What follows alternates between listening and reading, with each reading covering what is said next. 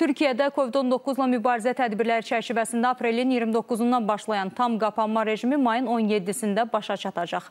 Tətbiq olunan qadağanın əsas məqsədi yoluxma, ağır xəstə və yeni növ koronavirusdan ölüm saylarının mümkün qədər azaldılmasıdır. Qapanmadan sonra Türkiyədə yoluxma sayının ən çox 10 min olacağı təqdirdə mərhələli yumşalma mərhələsinə keçiriləcək. Bu mərhələdə ilk növbədə kiçik sahibkarlıq subyektlərinin açılması və ənənəvi təhsilə keçirilməsi nəzərdə tutulur tutulur.